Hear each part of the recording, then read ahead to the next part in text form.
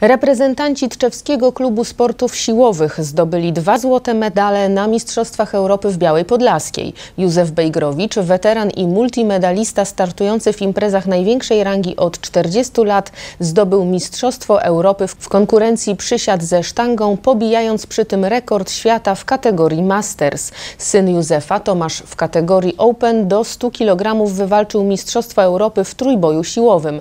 W każdej z konkurencji poprawił swoje rekordy życiowe. Czwarte miejsce w wyciskaniu na ławeczce zajął inny tczewianin Marek Tokarski. Nasza ekipa zapowiada start w najbliższych Mistrzostwach Świata, jakie odbędą się w październiku w Pradze.